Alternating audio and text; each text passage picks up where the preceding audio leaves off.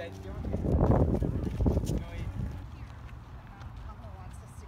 that's where we're headed to right now.